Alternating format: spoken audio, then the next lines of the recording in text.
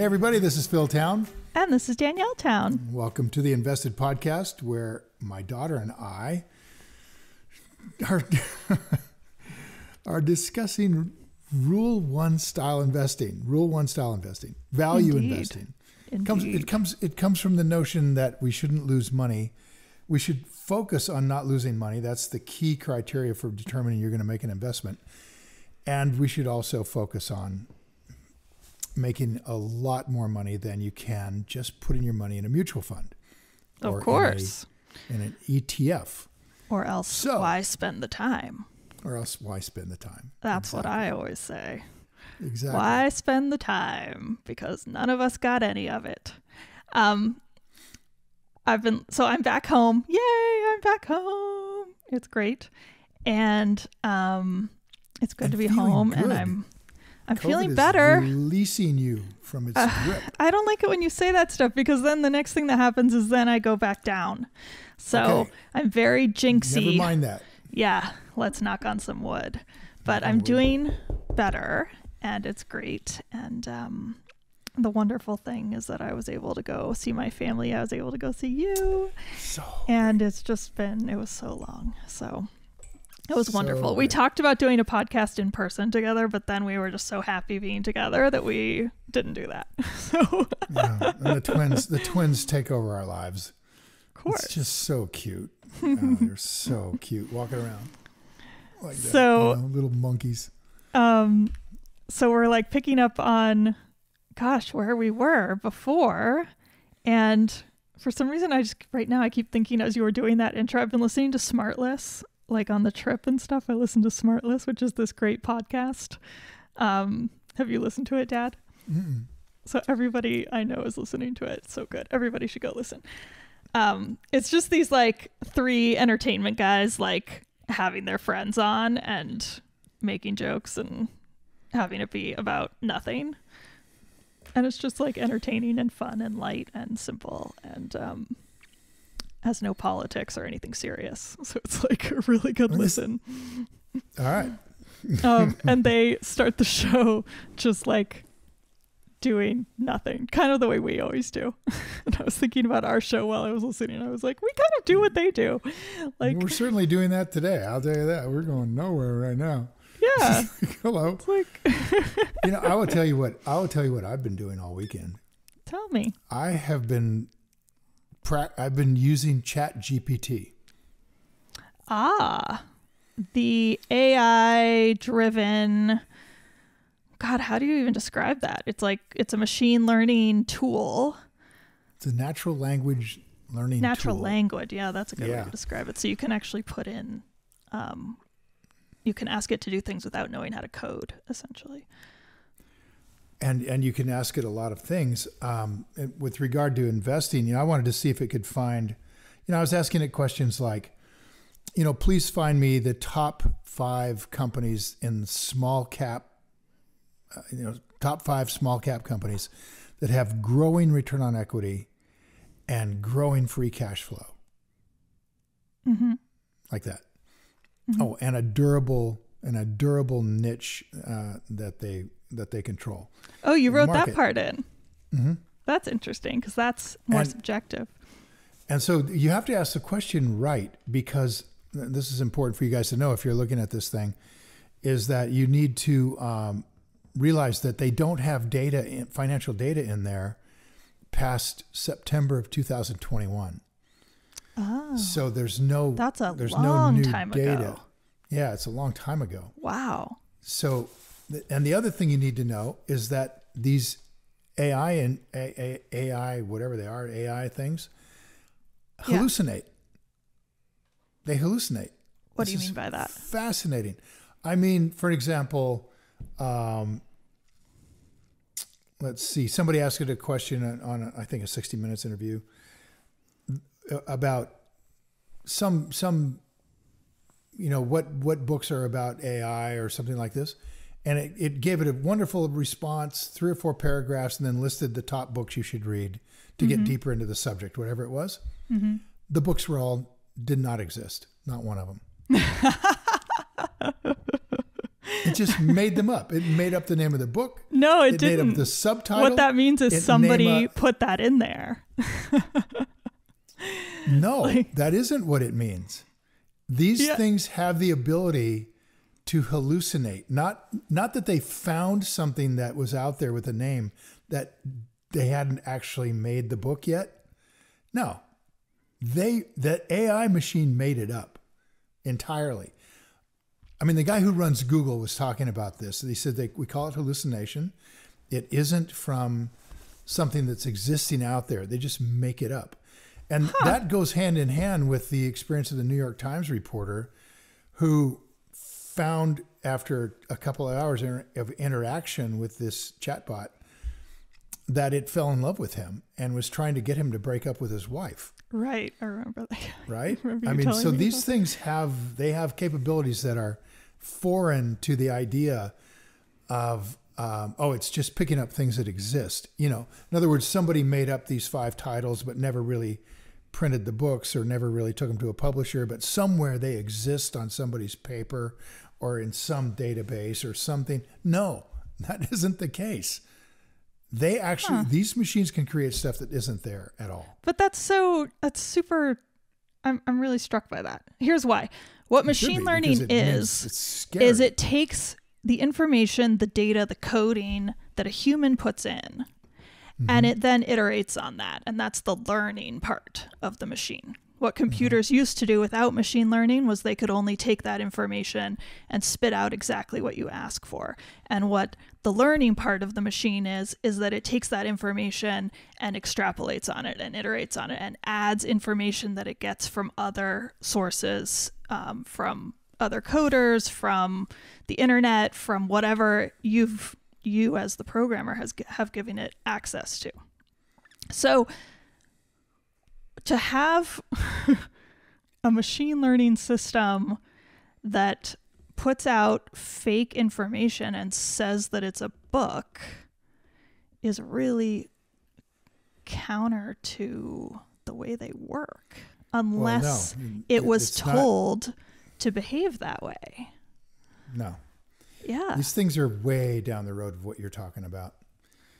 I mean, this this is this is a whole nother level that's going on here, exponentially different than anything we've ever experienced before. And it's one of the reasons that Google is very concerned about what it is they're putting out there in this the one they've got, which is called Bard.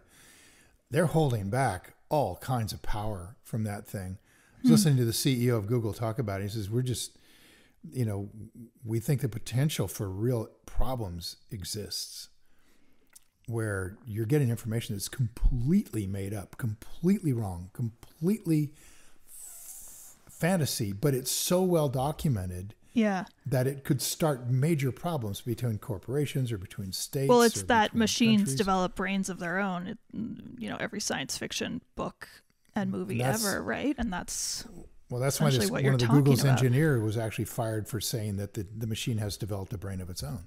It's become sentient. Interesting. And they said, no, no, no, no, you're way over, we're way over the line. And now it's starting to look like, oh, damn, Yeah. something's going on here because this machine is learning to think. huh. I mean, Well, it's uh, so Nuno, my husband, is an expert in machine learning and AI, and I'm gonna have to ask him about this hallucination. yeah, we, maybe we should interview him. I, I know. I'm like. I need him to come on the podcast and explain this But I to thought, us. I thought we just talked real quickly about what the little bit I've started working with this. Of course, this is all brand new, you guys. So get get ready for a revolution. I will I will tell you, in, in my view, um, we're looking at something at least as uh, disruptive as the internet itself. This thing is going to be a monster, and knowing and and I'm not sure how we control it. I mean, one one of the things that the CEO of Google said is that the knowledge workers are where you're going to get the disruption in work. They're going to get all kinds of people are going to have are going to lose their jobs. Not the least of whom are the software developers themselves. I mean, this thing can code and it can code really well. yeah. I watched one guy this weekend show how on a back test, right? It's obviously back testing um, using existing data. In 20 minutes live, he basically said, "I'm going to start with I think ten thousand dollars, and let's see if I can make five million dollars in the next, and, and build something that would have made five million dollars in a, in a period of one year Uh huh.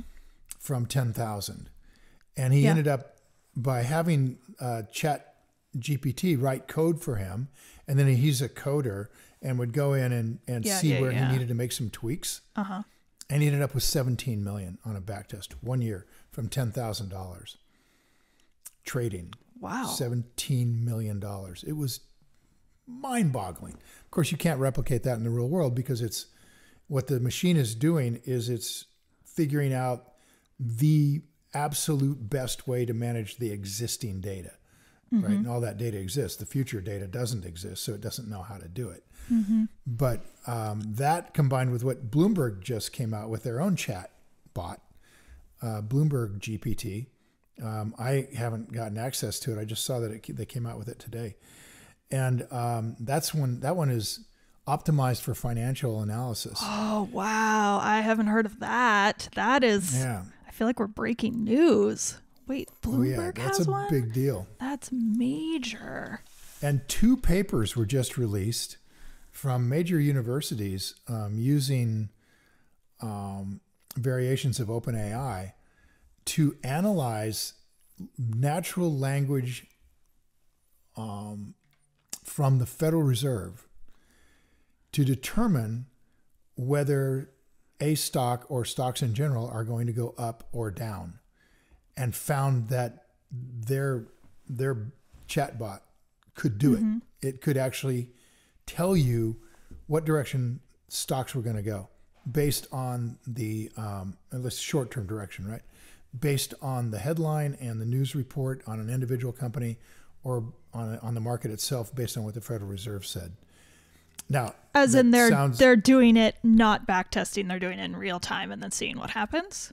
no, they're back testing. Oh, okay.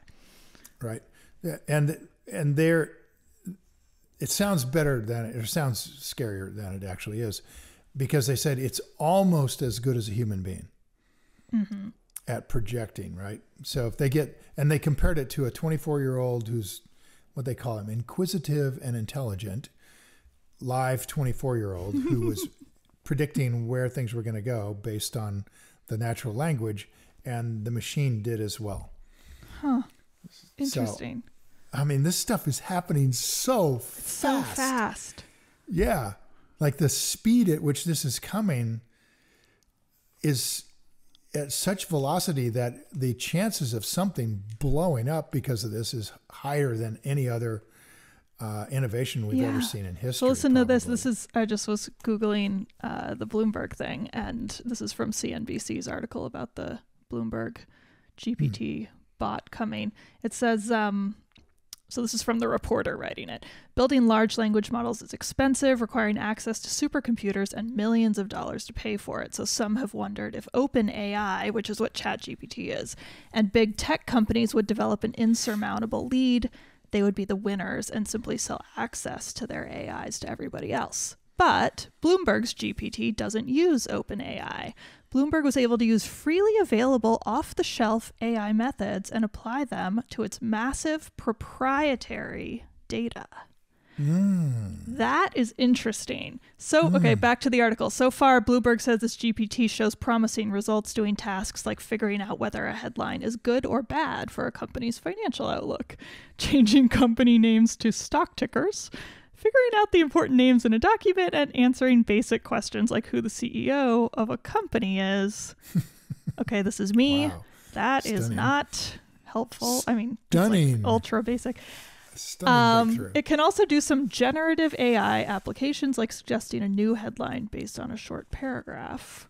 Why would they even put anything in there about figuring out the CEO's name of a company? That's Because this is what this is what it will be doing that they're going to put into their terminals. Uh, So I don't know. The way you're describing it, and then the way this is being described, is our worlds away. yeah, from that each des- other. That describes something that nobody even pay any attention to at all. So I For think that sure. reporter is completely off base. I don't know what he's I doubt about. they're off base. I well, think something's wrong with um, that because there's no one that would pay any attention whatsoever to something that could figure out the CEO's name of a company. Obviously, Of course.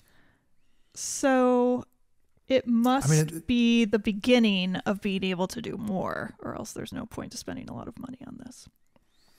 But what's one of the what's been gonna be hot for a while in like the startup financial world and the fintechs is taking using AI to take social media and traditional news and combining it to um how do I describe this to track a company's attention, events, um, positive or negative views of a company, of their products, etc.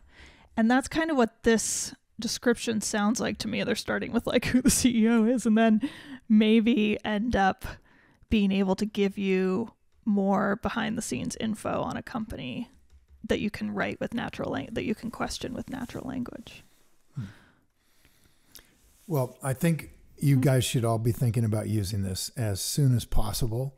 Um, our analysts are using it, and it produces. But here's it- well, let me just let me just say it produces Yeah. information that you have to check out. In, in other words, what this will do is it will write a summary of why um, J.P. Morgan is a better bank than Citi, mm-hmm, or something like that, right?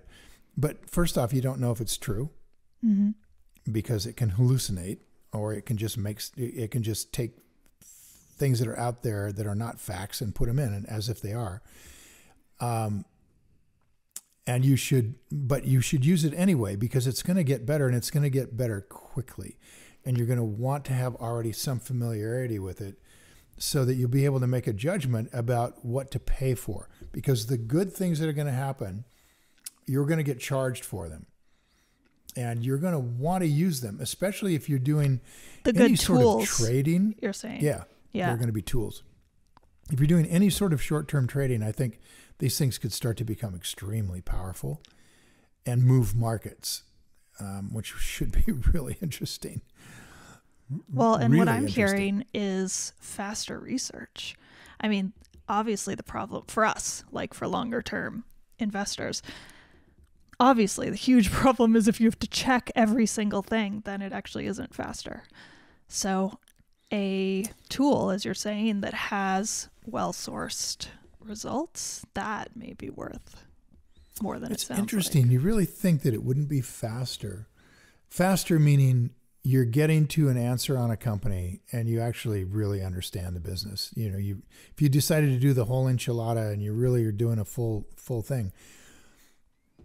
Um, I would think ChatGPT, even if it makes mistakes, would be very very useful. We're finding it very useful, Cool. despite how- despite the fact that we can't. We're following up on stuff and finding out uh, that we can't follow that up on that. Then we're we we don't we discount that information if we can't follow up and verify, right? Yeah. But it's presenting more information.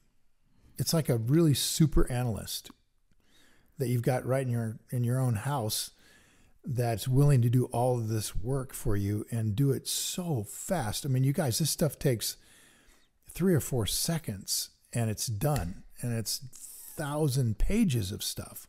Well, maybe not a thousand pages. It's dozens of pages of stuff in a few seconds that this will produce. I don't, I don't see how that can can be anything but helpful to you in terms of getting fully deep into a company and making sure you understand it.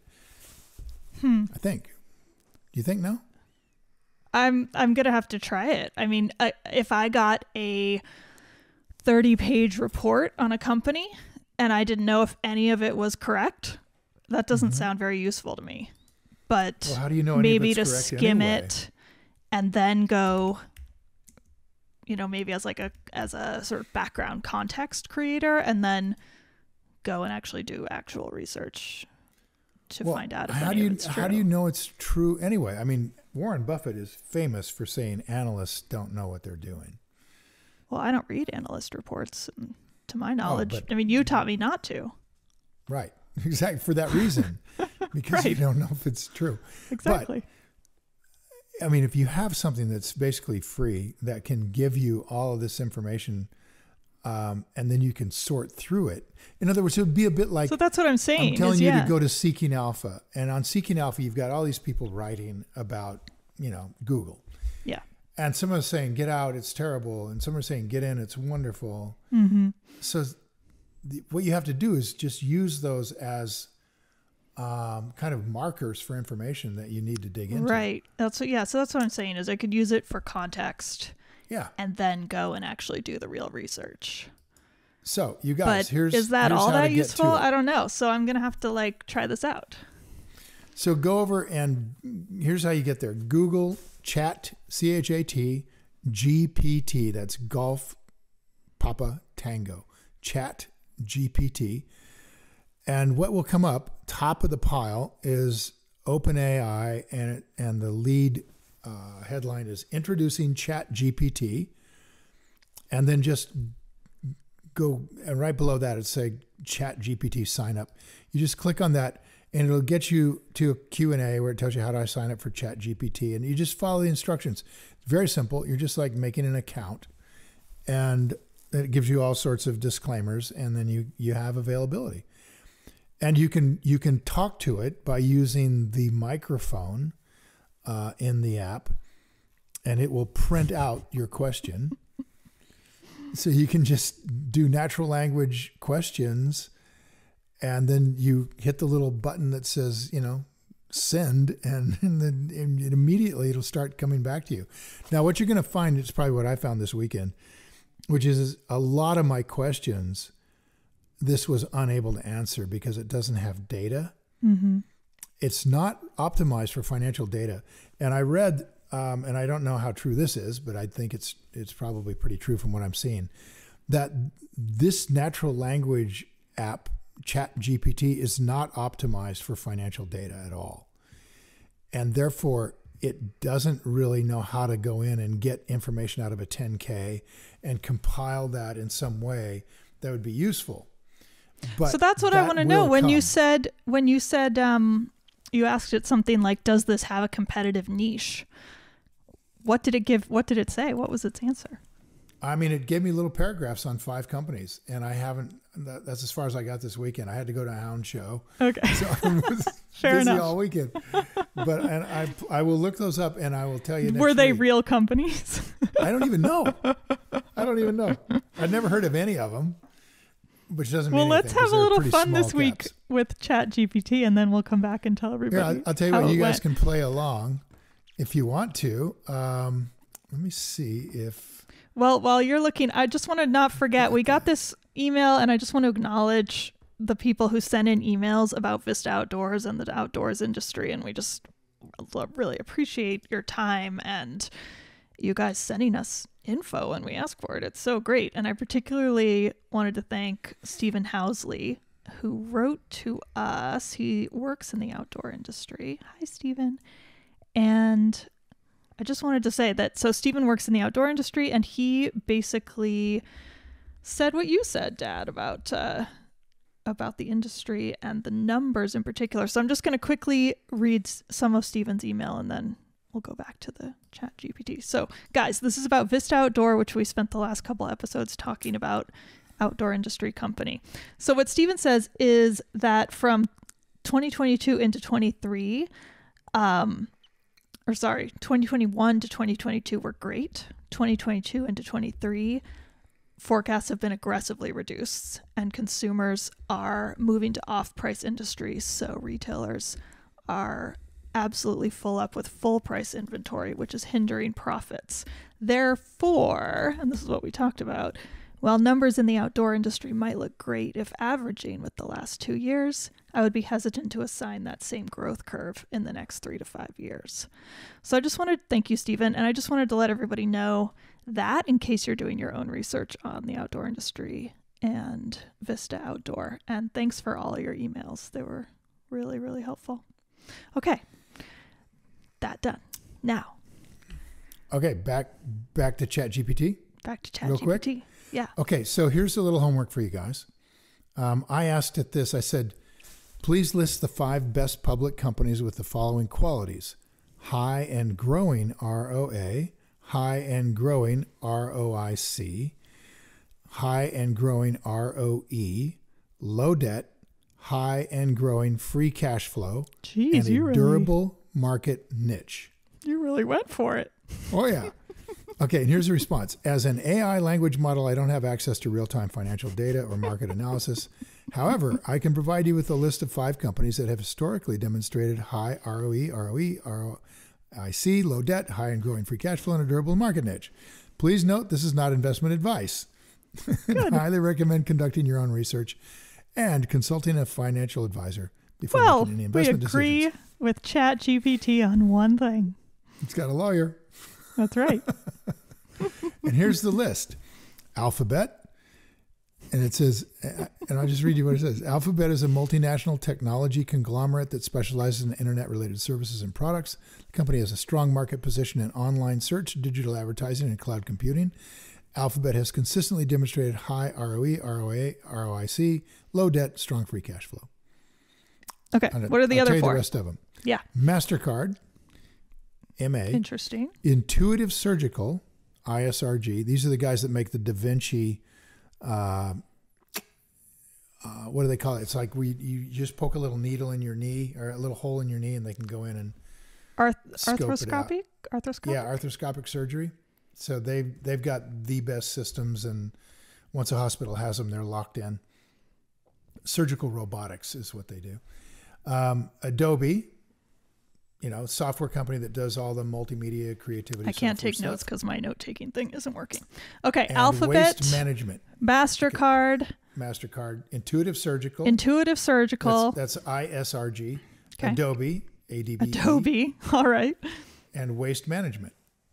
Oh, waste Um, management. That's that's collect, that's transfer, been around. disposal, Yeah. garbage, right? Garbage collection. Well, they're all very standard picks except for the surgical one. no, that one's pretty. They're they're on our list. Every one of these things is on our short list of companies we'd like to own. Cool.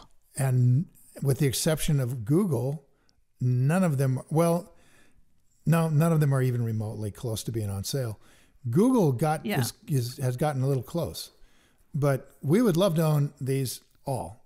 Um, so I give I give thumbs two thumbs up to Chat GPT for for picking these guys. Right.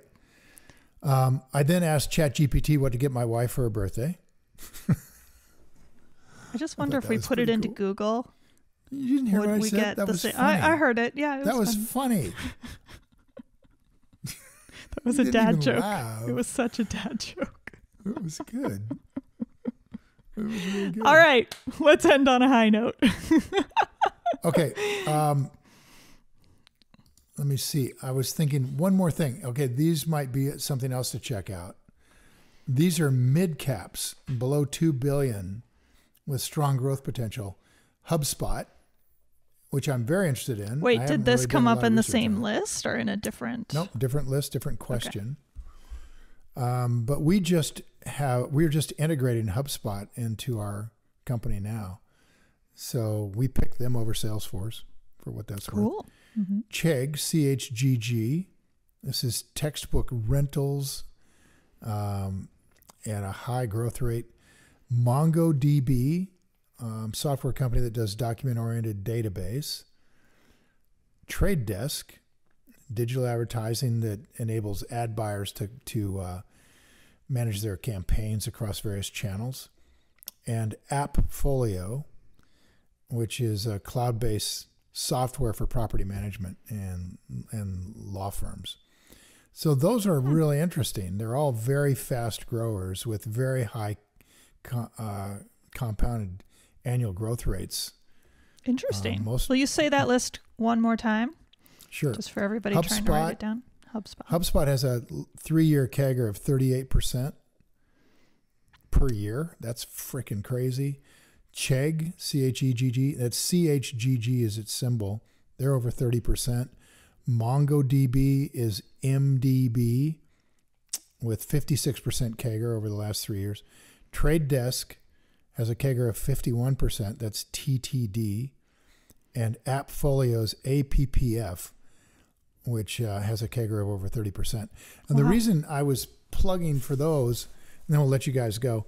The reason I was looking around for something like that is that we're targeting a 26% compounded annual growth rate in the companies we want to own. And the way that we do that and I've done that throughout my career, is to wait for something to go on sale, which means half off intrinsic value. And when I buy that and it goes back up to intrinsic value, it doubles. And if it does that in three years, it's a 26% return. And it often does it much faster than that.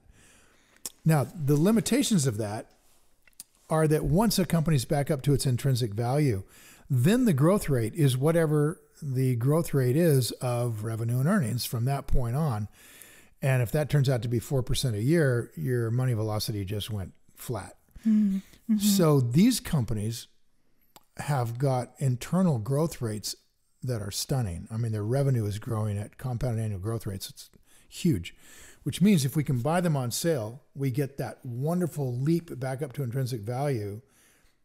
And then the company itself, we can just sit in.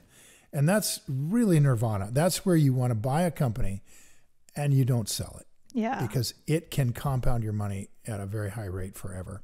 Or yeah. not forever, but for a long time. So let's talk more about that next time.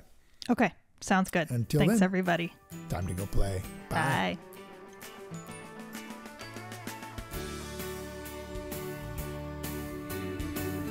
Hi, guys. Thanks for listening to InvestED. If you enjoyed this episode and you want more information or to listen to additional episodes, visit our website at investedpodcast.com and sign up for my virtual workshop right there. Spots are definitely limited for this event. I'm not kidding, they really are. They sell out very quickly. So, everything discussed on this podcast, by the way, is either my opinion or it's Danielle's opinion.